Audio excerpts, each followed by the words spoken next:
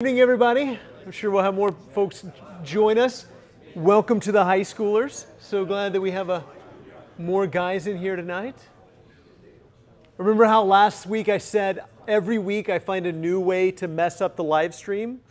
I didn't mess it up at all last week. It worked really well. But this week I messed it up so royally, it's not even live streaming at all now. So, you know, I, I, I doubled up from last week. So I found a way to, to completely end the live stream, so I'm having to record it. So if you're watching, I apologize that we didn't live stream it. Okay, well, let's, uh, let's go ahead and start with the prayer. Father God, we thank you for this day. We thank you for your blessings. We thank you for our time together. We thank you, Father, for Jesus and for his example for us. May we keep our eyes on Jesus tonight as we study but every moment of every day of our lives. Father, we pray these things in His name. Amen. Okay, as we wait for everybody to get here, let's, uh, let's talk about what this means. First of all, what is masculinity? What do we mean when we say masculinity? While you're thinking of your answer for that, um, I was getting ready and someone came in the room. She didn't know how many times I've messed up things having to do with technology. And she said, I need some masculinity in the other room. And I was like, well, that's a, interesting given our topic. I was like, I wonder exactly what she's going to mean. She needed the password for a computer. And I said, You know, I'm going to use this as an example, right? That that's, that's your version of masculinity. So apparently, for some people, uh, masculinity is being able to operate technology. I don't know. What else? What, what is masculinity? What do we mean when we say masculinity? Male qualities. Okay, male qualities. Yes, male qualities. That's good. Yeah. What does it mean to be a man? What does it mean to be um, a male? Yeah, for sure. Outside of the obvious, right? Outside of biology, uh, what, what does it mean to, to be a man? And, and specifically, we even use phrases like real man, right? Like, what, what does it mean to be a real man. We even joke about things like a man card, and if you do the wrong thing, that you get your man card removed or you get your man card. Uh, other cultures, we talked in the first week about how in other cultures they have uh, moments and ceremonies and rituals where they cross over into manhood. Um, and so, what all is wrapped up in that? What does it mean to be masculine? And so, we in this class are saying what it means to be masculine is to be cruciform. And cruciform means what? Okay, the image of the cross, right? Shaped like the cross. So we're saying a masculinity that is shaped like the cross, a masculinity that is shaped like what Jesus did. No worries, no worries. Maybe it'll come back on. Where's Zach? Where's Zach? Was he in here? Oh. There's a there's a cord back there. If I'll walk back there and oh Richard. There's, a, there's an HDMI cord that is on the bottom. You may just wiggle the, the HDMI cord and see if it, it may have just gotten bumped. So you guys are demonstrating your, your masculinity according to some people's standard of masculinity. There's, there's another HDMI cord on the shelf underneath that, guys. If you want to swap that one out and see if that works, I don't know. Thank you. Look at that. Look at our shepherds jumping in there and serving. Okay. Um, Okay, so what we're saying in this class is that as Christians, our definition of masculinity should be shaped by the cross. In other words, it should be shaped by what Jesus did at the cross. Every time the New Testament tells us to follow the example of Jesus, do what Jesus did, what's it talking about? Specifically, what's it talking about? Not wear sandals or wear a robe or um, you know, speak Aramaic or you know practice ancient Judaism. What what is it telling us to do? Thank you guys, good job. Um, ah, there we go. It is what it is. It was not working uh, 20 minutes ago too, so it's okay. It's not y'all's fault. Um, so so what what does the New Testament what is the New Testament telling us to do when it tells us to follow the example of Jesus? What? Okay, that's an interesting idea. Treat people like Jesus and, and, um, and, and teach like Jesus. Specifically, there's one thing that Jesus did, and it does have to do with how he treated people, but specifically, I guess there may be two. Two, one right before this, and then one right after. Okay, serve, yes, but specifically how? What's the example? What's the example? Okay, that's, the, that's one. Jesus said, go, he's, he's the one that said that one. He said, go and do likewise, right? But then every time the apostles say, follow the example of Jesus, it's specifically the cross. Every time. When, they, when the apostles tell people, follow the example of Jesus, do what he did, it's always pointing back to the cross. There's about three there. Bet you can make somebody move if you need them to, guys. Um, so every time the New Testament tells us to follow the example of Jesus, it's always pointing back to the cross. That that is what, what we are supposed to follow and live out in everything that we do. Jesus said, This is the example I'm giving to you. John says in 1 John chapter 3 and verse 16 that he laid down his life for us and we ought to lay down our lives for the brothers. Uh, Paul, Philippians chapter 2, we'll read this in just a moment. You know, have this mind amongst yourselves, and it's talking about the incarnation and the crucifixion. What Jesus did in coming not to be served, but to serve and to give his life as a ransom for many. So, the cross, specifically the cross, that's not to say that we shouldn't teach like Jesus taught or, or uh, treat people like Jesus did, not that we shouldn't follow the example of his life, but specifically, the one specific example that we have, other than washing feet, is the idea of him laying down his life for other people. So that's why we say that if we're going to determine what does it mean to be a real Christian man, then the cross is where we look. If we're going to determine what does it mean to be a man like Jesus, then we look to the cross and ask, what does a crucified king teach us about being a man? Okay, you can't see this on the screen, but what does it mean to be ambitious? Let's talk about that tonight. What does it mean to be ambitious? What's that? Okay, yeah, I like that. Want something better for yourself. Want better for yourself. Okay, what else? What else does it mean to be ambitious? Motivated. Motivated. Oh, good word. Yeah, motivated.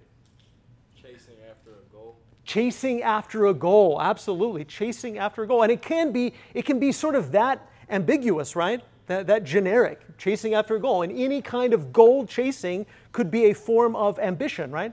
And so, yeah, chasing after any sort of a goal and to be motivated towards that goal. And, and the, the goal is obviously something better than we currently have. Look at Carter. He's just going to sit there and hold that and keep it, keep it in line for us. Okay, uh, how about this one? What are some typical American male ambitions? Okay, let's just be stereotypical here, but what are some typical American male ambitions? Good career. Okay, a career, yeah, good career. What's that? Make money. Have a family. Have a family. What's that? Women, yeah. What's that? Be a star, yeah, a star, absolutely, yeah. I'm sorry? Be famous. Be famous, yeah. do well at whatever you're doing. And hobbies like be it sailing, golf, or Absolutely. whatever. Yeah, be, Hunting. be great at whatever it is. Be, and, and sometimes not just great, but the best, right? Yeah, we want to be the best. We want to not just be, be good or be, and, and, and even how, how do we determine what's great? It's typically comparative, right? Typically comparative. Anything else? Muscles, yeah, absolutely. What, what we look like, maybe whether or not we can lift something, but uh, more, more importantly, what we look like. Uh, what else? Anything else? Anything else? What's that? Intelligent. Intelligent, yeah, absolutely, absolutely. Okay, so let me ask you this What is the difference between being ambitious and being competitive? Similar ideas, right, for sure. Could you be ambitious without being competitive? Could you be competitive without being ambitious? What's the difference? Where do they overlap? Ambitious can be more self-focused, whereas competitive usually is targeted against some other measure. Absolutely. So a lot of times there is overlap, right? But to go back to what Richard said, you could theoretically seek to be great at something without any sort of comparative. Now, typically we're trying to compare ourselves and we don't just want to be great, we want to be the best. And that's when it gets over sort of into competitiveness. But it could be, like John said, just a matter of with yourself, right? Just being ambitious within yourself. You're chasing after some goal. Whatever your goal is, you're pursuing it. It may or may not have to do with what someone else is doing. But then when we kind of look over at what somebody else is doing and we say, I don't just want to outrun the bear. I want to outrun you. You know, we, we want to outrun the other guy. You know, we want to be better than they are. Um, we want to not just have enough money, we want to have m- more money than they have. We don't want just a nice house, we want a better house than they have. We don't want just a nice car, we want a better car than them. We don't want just muscles, we want more muscles than them. We don't want, want to just be smart or intelligent, we want to be more intelligent than the people around us, right? So competitive is about comparison, trying to be better than other people. So it, it's still goal oriented, but the goal specifically is beating someone else. It's triumphing over someone else, right? Uh, but yeah, definitely a lot of lot of overlap between those ideas. Could you be? Are there some? What are some competitive environments that we just sort of find ourselves in? And even if we, even if we said, I don't really want to be a competitive person, or I'm not a competitive person, or I, I don't try to be competitive. Carter, you, you, are, you are a good man back there. You don't really, you really don't have to do that, I promise. You're, he's like Moses. Somebody go prop his arms up. Um, so, so what, what kind of competitive environments exist? The workplace, okay? Workplace is a competitive environment a lot of times. What else? Sports, yeah, sports. I mean, that, that is what sports are, right? Sports are by nature competitive. Yeah. School, yeah, absolutely. School is, is competitive. Siblings, yeah, absolutely, absolutely. I've got two boys myself. So, um, and they found out I was teaching tonight and that the teenagers were going to be in here, and they found somewhere else to be. So, um, so, so, so, yeah, siblings can be competitive. What else? Politics. Politics, absolutely, absolutely. The freeway. The freeway, absolutely. yes. yes, my son is learning how to drive, and, and I hear a lot keeping up with the flow of traffic, but that's, that's kind of debatable sometimes, right? And it's probably debatable when we use that phrase too. Okay, so is it possible to, is it possible to, good job, Zach, look at you. Um, Carter and Zach, way to go, guys. Um, is it possible to be in a competitive environment and still be ambitious without really being competitive? I, I just want to kind of throw that one out there to just kind of think about it. Sometimes other people are competitive with you. Okay, yeah, That's the way I find it. It's Yeah. stressful sometimes. Yeah. Because you, you're, you're either, you're gonna be doing equally as well as everybody else and, or you're not. And then when performance time comes, if you're not, so it's competitive in, a- for a different perspective. Mm, yeah, yeah. Interesting, yeah.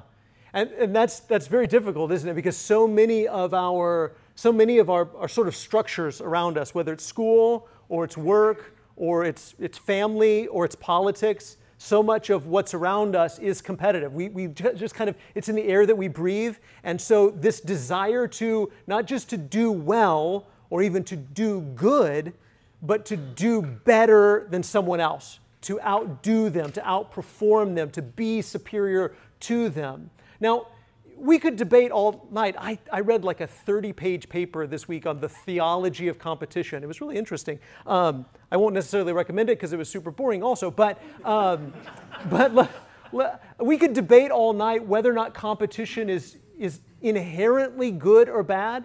And some of you may have different opinions on that.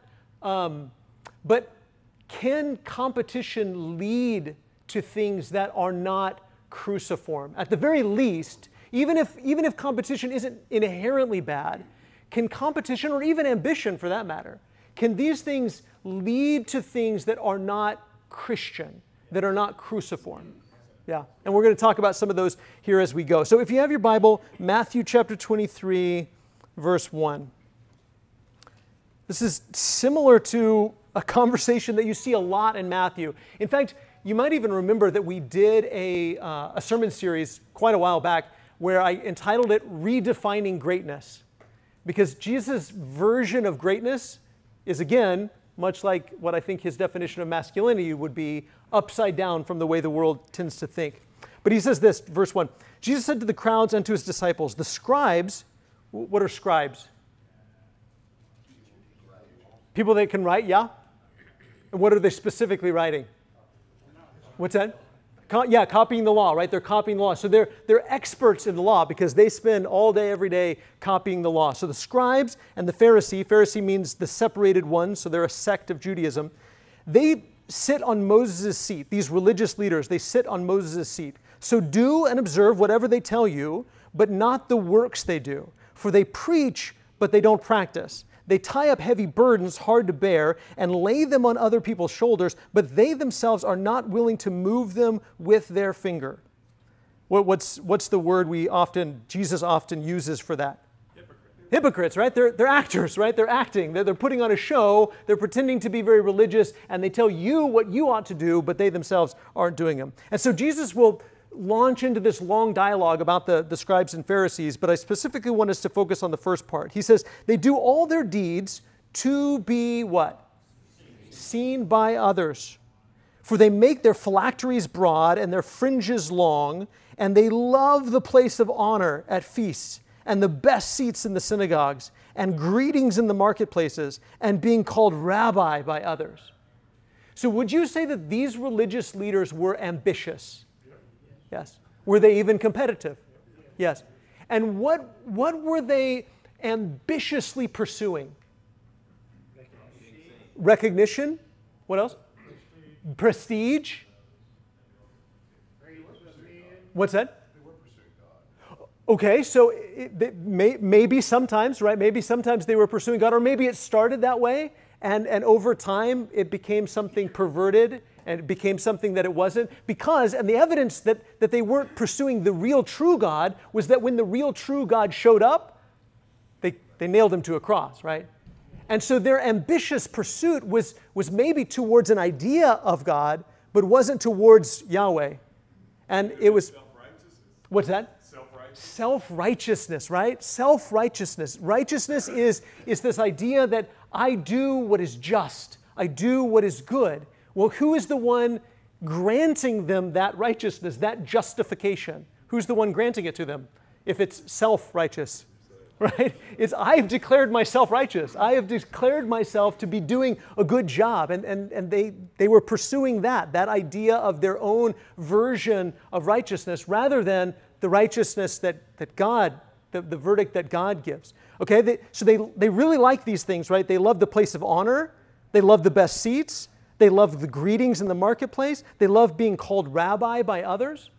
So, what might be modern, American, maybe even masculine examples of this or, or the, the application of this?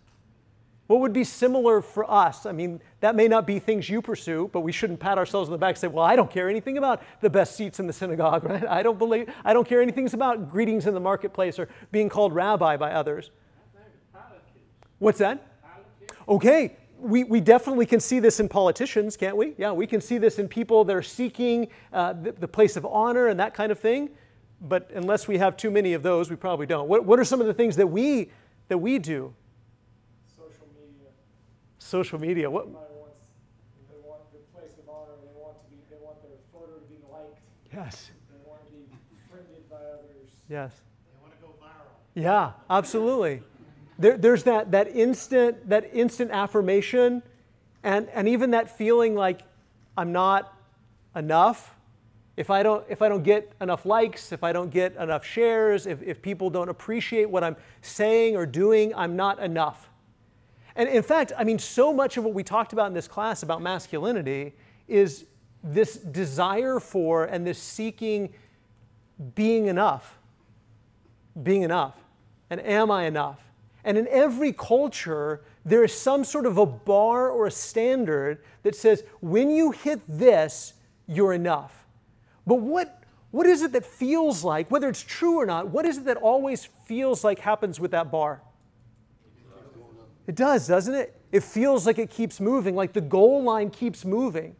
Like they said, well, when you, when you get to this age, well, once you're 18, once you're 21, once you can do this, once you do that, once you have this, once you achieve this. And then so many of us spend year after year, decade after decade wondering, am I enough? And so we seek this sort of out, out, out, external, outside of us validation that if if other people think I'm enough, if enough people tell me that I'm enough, if enough people tell me that I'm great, if I'm famous enough or rich enough or I get enough promotions or I get this or I get that, then I'll finally feel like I'm enough. Does it work?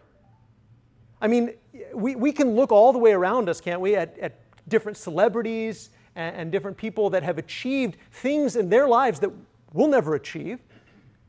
And, and so many of them continue to be depressed and discouraged and, and down and, and, and self hatred because they're seeking some sort of a validation.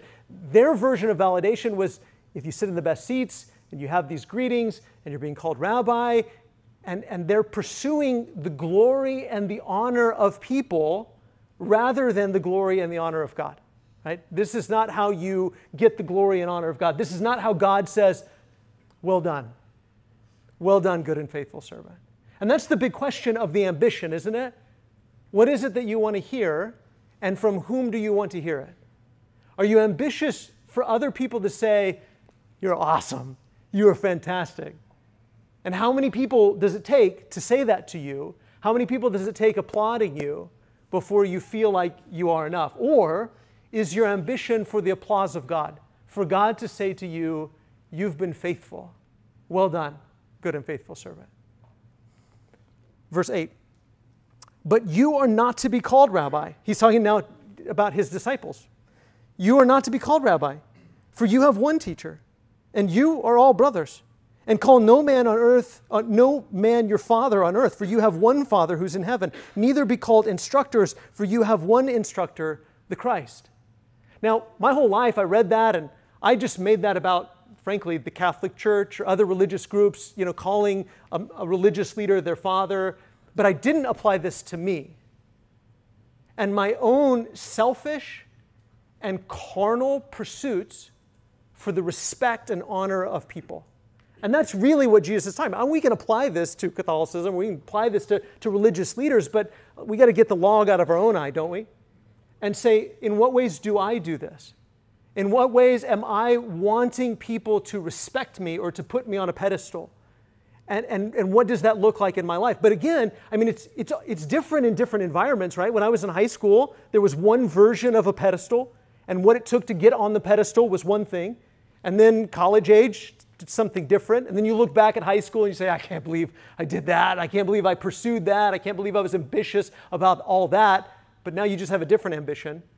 And then when you're in your 20s and your 30s and your 40s and your 50s and your 60s and your 70s and your 80s, it, it just shifts what the ambition is.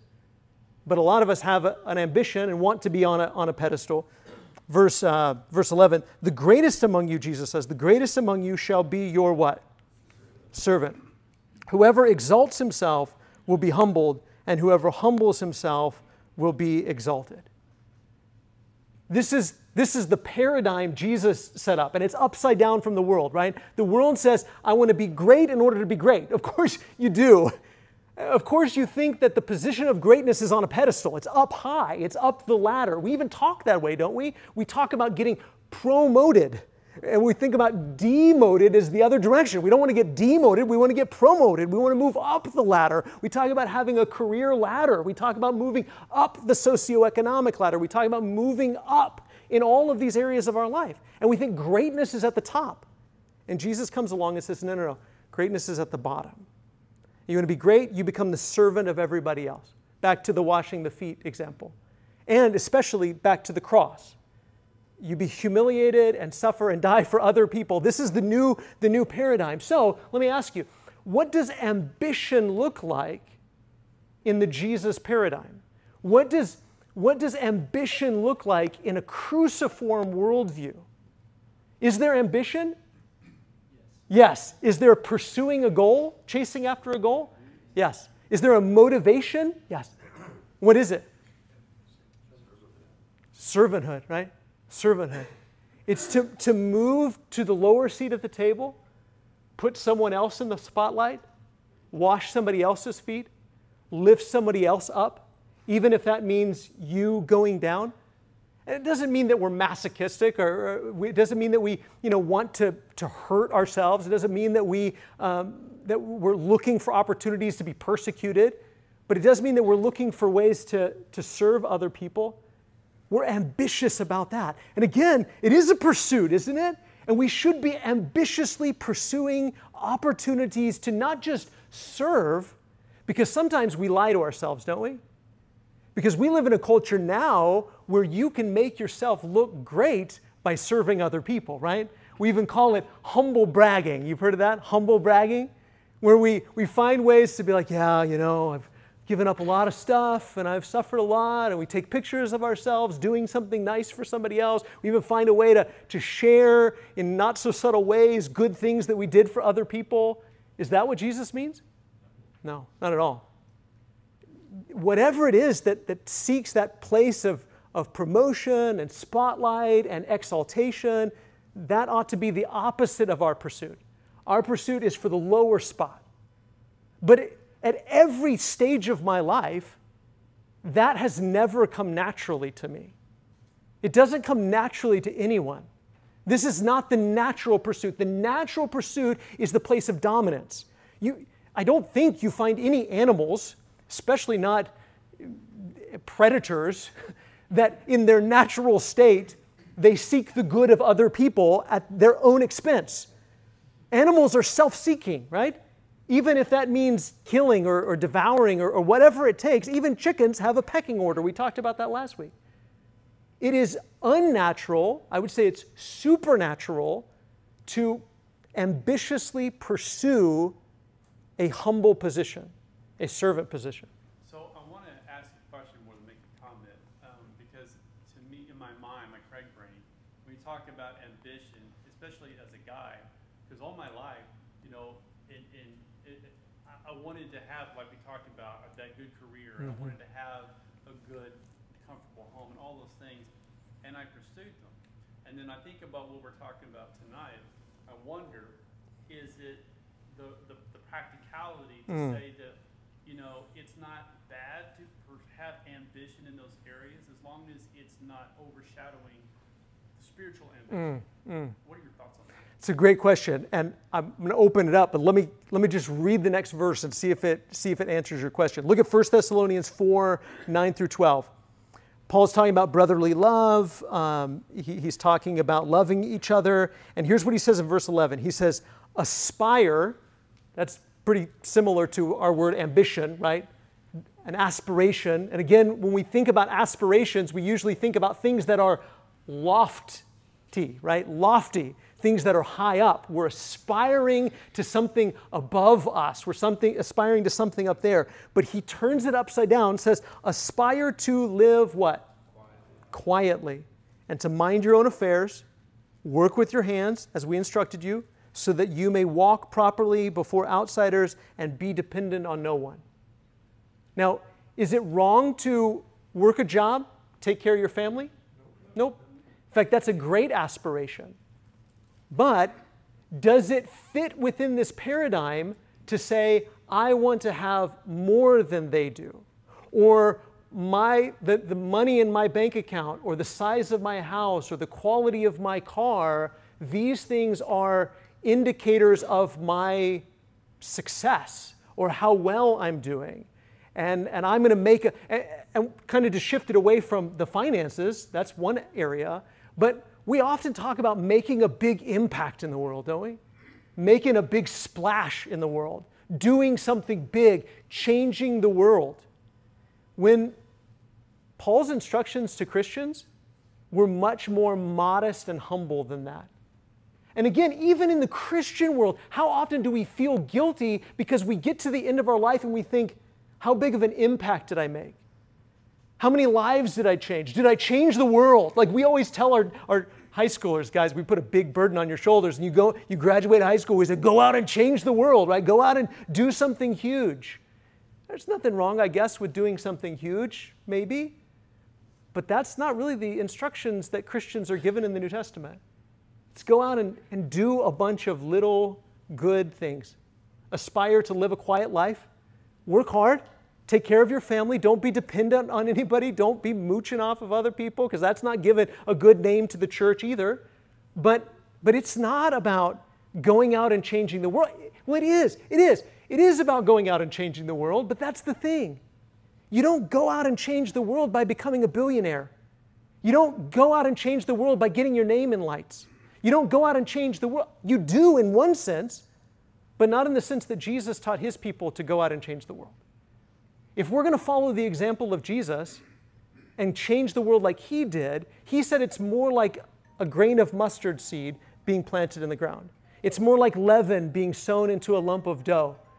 It's go and live a quiet, humble, kind, loving, self sacrificing life. If, I mean, if you get promoted at work, great, leverage that for the kingdom of God. But that shouldn't be your aspiration. That shouldn't be your ambition. That shouldn't be your pursuit. That shouldn't be your goal. Does that make sense? It's one thing to get promoted, it's one thing to, to make money. There were rich people that came to Jesus, there were rich people in the church, there were successful people, and even people who were well known. What becomes wrong is when that's our aspiration, when that's our ambition, when our ambition is to have our name in lights, when our ambition is for the spotlight, when our ambition is for the money, when our ambition is to get people to applaud us. And again, we're incredibly self deceptive, aren't we? We can trick ourselves into saying, well, but it's for the glory of God. I really want to do it, but it's for the glory of God. I, I can't tell you whether it is or not, but you have to you have to examine yourself and say, is this my aspiration? Is this my ambition? Does that kind of hit on the question you're asking, Craig? I think so. I mean, my interpretation is that our, our we should aspire spiritually uh, above and beyond our, our, in a worldly sense, so that when we're doing the things, our daily routines and stuff like that, we want to do our best. We want to excel Mm. at what we do, but our, our focus and our aspirations should be on the kingdom Yeah. doing Christ's work Yeah. and foremost. Yeah. If, like you said, I think if you're doing the right things for the right reason and you're responsible and people will see that like they did for uh, Joseph, you're going to be pushed up because you can. I wouldn't say you're going to be, but I would say it's possible. Yeah. Right? Because not that didn't always happen to Christians, but yeah, that's possible. Yeah. So I think, yeah, I mean, that, that, that helps. Yeah, yeah. I mean, he says work hard with your hands, right? I mean, that doesn't mean do halfway ridiculous work. Like, do good work. Whatever it is, do good work. Do well at whatever you do, but not for your glory. Not so that people honor you. Not so that you move up. Not so that you make more money than your neighbors. Not so that you can feel validated for being richer or more famous or a bigger star or a bigger whatever. This is why I asked the question Is it possible to operate and live within a competitive environment and have a far different ambition than competition? And I think it is. Eric? Yeah, I think about Nehemiah. Mm. Um, one of the biggest jobs in the whole empire. But what did he care about? When he heard that his people were in trouble, they were living without a wall in Jerusalem, he was devastated. Mm. And that actually called him to action to go and use what he had for, for God's people. Yeah, yeah. Right? Yeah. And risk his life, right? I mean, it was amazing that it worked out the way that it did. It was only by the hand of God that it worked out the way that it did because it very well could have ended with, you know, no, you're the cupbearer to the king. You can't take off and go build a wall, you know, thousands of miles away. Well, and I think it's a, it's a good indicator. Like, if we're going about our lives and our, our, our brothers and sisters are hurting, Absolutely. and and there's people in need, and it doesn't affect us. We're just thinking about what we need to do next. Yes. I think that's that's a good indicator about where our ambition is. Absolutely. You guys are really good at segueing to the next verse because I think that's perfect. Paul, Philippians 2. We're, we're going to keep coming back to this one in several different classes, but he says, Do how much? Nothing. Do nothing from selfish ambition or conceit, but in humility count others equal to yourselves. Is that what it says? Nope. What does it say? More significant than yourselves. That, that could be translated something like count others to be your superior. And who are the others? Everyone else. What if they're literally our inferior? What if I'm smarter than them and I have a better job than them and I'm higher up the ladder than them? How should I think about them? As if they are more important than you, more significant than you. Let each one of you look not only to his own interest, you, you, have, to, you have to take care of what we were just saying. You, you have to take care of your family, you have to work hard, do your job, but also to the interests of others. Let's go back to this first phrase do nothing from selfish ambition. What is selfish ambition? Again, we're not saying ambition is wrong. You need to be motivated. You need to have a goal. You need to pursue something. But what is selfish ambition? Disregard for others. Yes, so selfish ambition could be how you think about or don't think about others. Sometimes that is competitive, and sometimes it's just apathetic about what's going on with other people. Like Eric said a minute ago, as Christians, when we find out somebody else is suffering, we need to have concern for them. If we don't care, I don't care. What difference does that make? I'm just, I'm just pursuing my quiet little life over here. Paul told me to pursue my quiet little life, and we're ignoring other people. That's a selfish ambition, even if it started out as something good. Willie? And if, if these things uh, that we're talking about now, uh, aren't they uh, hard issues? Yes, and that's the thing with hard issues, isn't it? That they work themselves out into our life. Huh? Heart.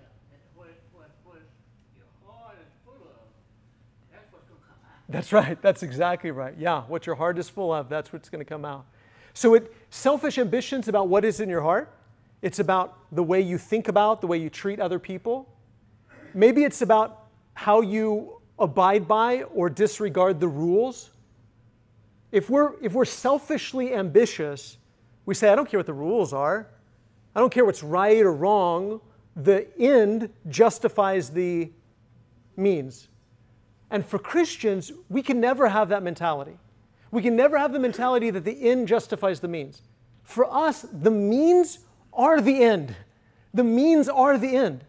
It doesn't really matter how this job works out or how this, uh, this sports season works out or how this whatever works out. What matters is how you play the game, how you do the job.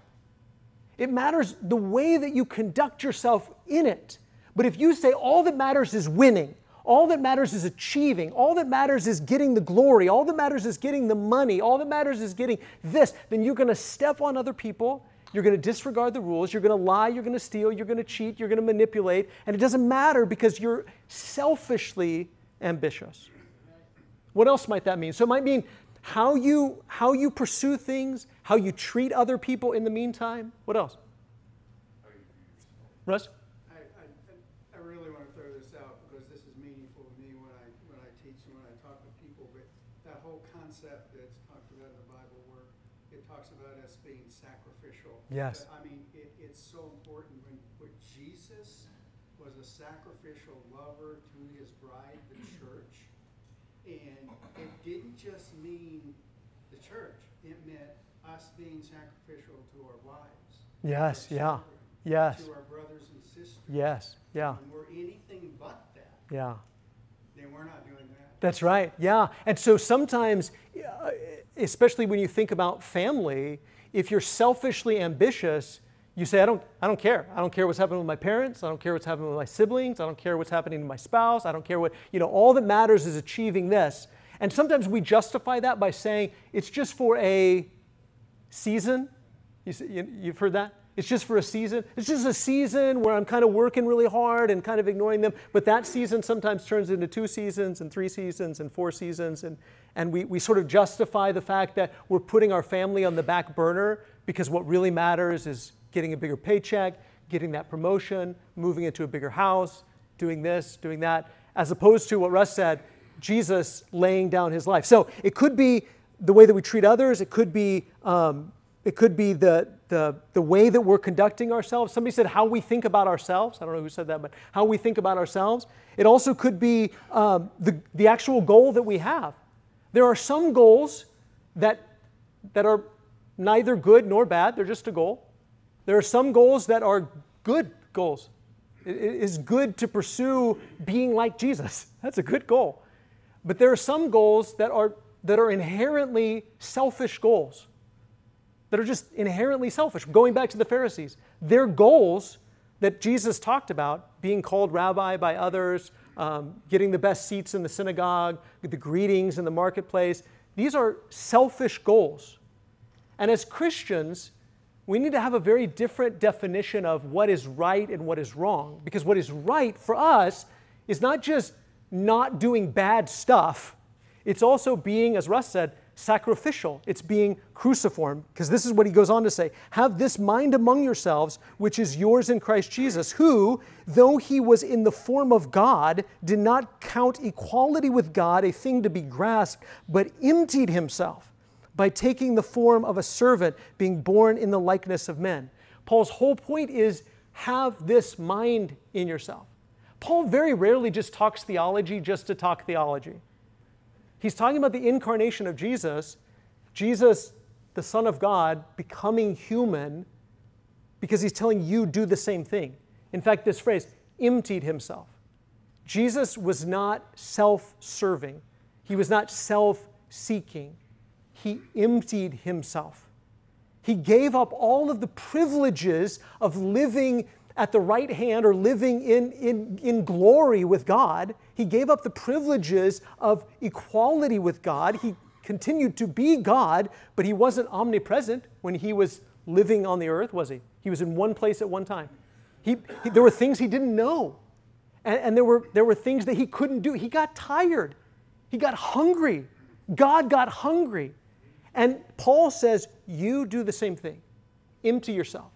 Give up rights and privileges for the sake of other people. Look at verse, uh, look at verse 8. And being found in human form, he humbled himself by becoming obedient to the point of death, even death on a cross. Therefore, because he did this, God highly exalted him and bestowed on him the name that is above every name, that so that at the name of Jesus every knee should bow in heaven and on earth and under the earth, and every tongue confess that Jesus Christ is Lord to the glory of the Father. Now, did, was Jesus pursuing glory?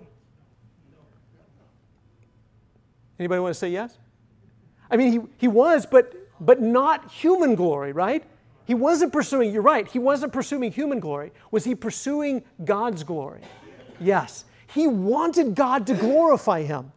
That's a good thing. I want God to reward you. I want you to be rewarded. I want you to be honored. I want you to be glorified. I want you to be exalted.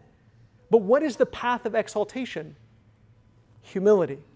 What is the path of glory? Self sacrifice, self emptying. Willie? You know, I think, I recall it exactly what the scripture was, but it was a situation was that they uh, went out to get food. And got that was the food Jesus would eat. And they were like, well, I ain't eat. And then he told us that my meat is Yes. Yeah.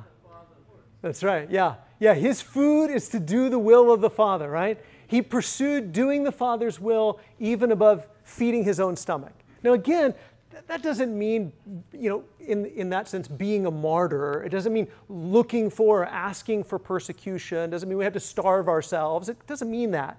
But it does mean you have to put the glory of God and the good of others above your own interests. And selfish ambition is at odds with that. And that this is a different kind of ambition. In fact, in Galatians 5, when Paul's talking about the works of the flesh, he names things like enmity and strife and jealousy and fits of anger and rivalries. That word rivalries is the same Greek word as selfish ambition. Things like anger and strife, fighting with each other, and those things go hand in hand with sometimes, like we talked about in the beginning, with unhealthy forms of competition and ambition. It's hard to really love some well, someone well when your ambition in life is to beat them, right? And we can go back to the politics thing for just a second. We get so polarized in our binary political world that says you're either this party or you're that party, and our whole mentality gets wrapped up in beating the other guys and we can't even love them well. We don't even see them as neighbors. We begin to de- demonize them because our whole mentality is about beating them and how they're horrible and we can't have anything to do with them. And they're the bad guys, we're the good guys. And that sort of rivalry, that sort of party spirit, that is at odds with walking by the Spirit, right? And so, and so that, that goes hand in hand with everything we're talking about. James 3, he says, if you have bitter jealousy and selfish ambition in your hearts, don't boast and be false to the truth. This isn't the wisdom that comes down from above, it's earthly wisdom, unspiritual, demonic. For where jealousy and selfish ambition exist, there will be disorder and every vile practice. See, again, back to what Willie said a minute ago, it's about what's in our heart. And when there's, and we can, we can justify it all day long. We talk about, well, it's, it's righteous indignation, it's righteous anger, right? But inside of us, there's bitterness and there's jealousy and there's selfish ambition and we want to beat and we want to win and we want to dominate and we want to be superior. And he says, when that exists in your heart, there will be disorder and every vile practice. It will, it will work itself out in our lives. And we will not love people well when that's in our heart. Romans 12, verse 9. Let love be genuine, abhor, hate what is evil, hold fast to what is good, love one another with brotherly affection, outdo, I wish we had more time, outdo one another in showing what? Honor. Outdo one another in showing honor. Don't be slothful in zeal, be fervent in spirit, serve the Lord. Should we be motivated? Should we be ambitious? Is there even really kind of a right way to outdo one another? Kind of. And what's the way we outdo one another?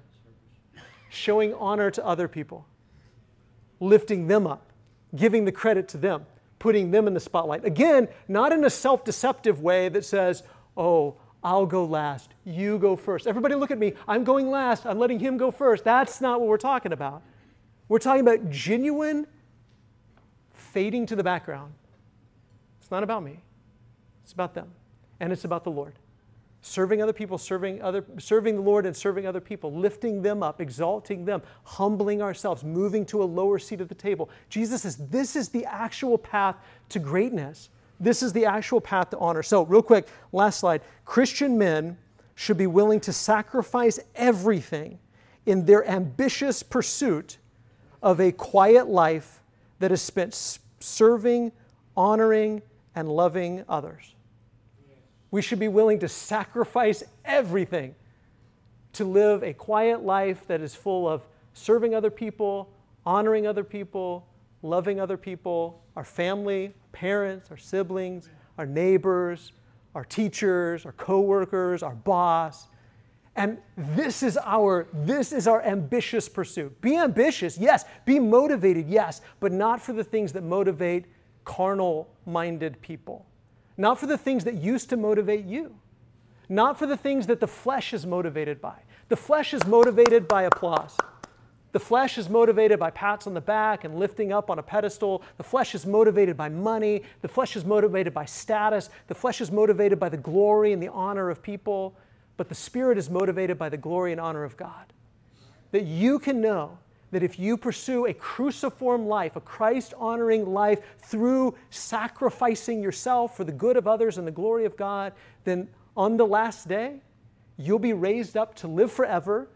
The meek will inherit the earth, and the Father will say to you, Well done, good and faithful servant. And there is nothing, nothing the world offers you that can compare to that. Let's pray. Father, we long for that day, that day when we will see you face to face. And Father, until then, we pray that you help us to walk by the Spirit and not by the flesh, to keep our eyes on Jesus, and to lay down our lives for one another as you lay down your life for us. Father, thank you for sacrificing your Son, Jesus, not only to liberate us from sin and death, but to show us how to truly love one another and how to be real men. We pray these things in Jesus' name. Amen. Thank y'all.